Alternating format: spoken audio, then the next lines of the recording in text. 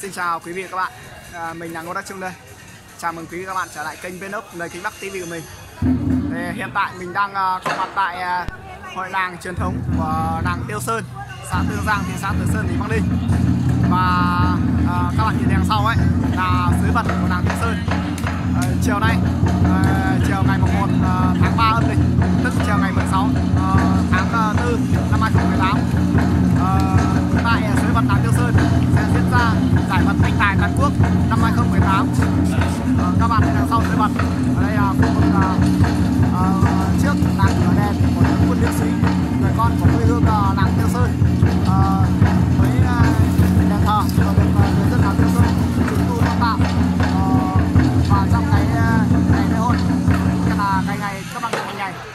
Tiêu uh, năm 2018 này.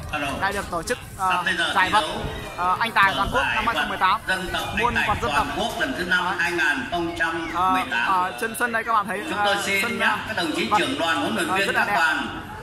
Đưa vận động viên của mình về tập kết phía sau vận động ban tổ chức để chuẩn bị, cho, các trận thi đấu. chiều nay. chiều nay rồi người kinh bắc sẽ ghi hình và gửi lại ờ, ờ, tới quý vị các bạn ờ, theo dõi những trận đấu vật dân tộc truyền thống môn tập võ dân tộc của Việt Nam chúng ta ờ, trên kênh Vlog người kinh bắc TV các bạn hãy chú ý đón xem và nhớ ủng hộ cho kênh Vlog người kinh bắc TV bằng cách 30 các lúc nào đăng được ký kênh đăng ký kênh. Chúng tôi xin Hai và xem video đại biểu quý vị khán giả người kinh bắc của địa phương và thập phương đã các về ờ, dự lễ hội truyền thống những môn ờ, vật dân tộc của Việt Nam. của chia Tiêu Sơn, các xã Tương ờ, Giang, những, ờ, thị xã Từ Sơn, tỉnh Bắc Ninh về với Ờ, giải vật dân tộc anh tài toàn quốc lần thứ năm 2018 mời quý vị về vị trí của mình để chuẩn bị thưởng ờ, thức những kêu vật ờ, của giải anh ờ, tài toàn quốc.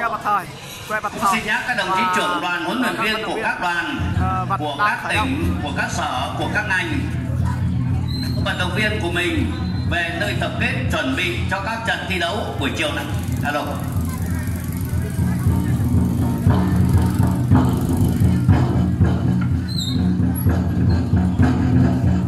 Rồi, quý vị hãy chú ý đón xem uh, kênh uh, đốc và theo dõi trận đấu vật của ờ, giải đấu vật anh tài.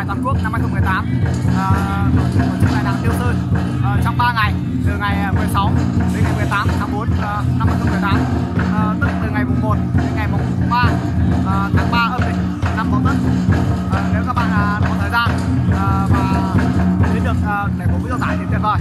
Và nếu không thì uh, các bạn hãy chú ý theo dõi kênh nước để uh, xem uh, uh, hình ảnh những uh, keo vật những uh, trận đấu được uh, ghi hình và chia sẻ uh, trên đây để giới thiệu và chia sẻ lại rồi xin chào tạm biệt và hẹn gặp lại các bạn ở video tiếp theo.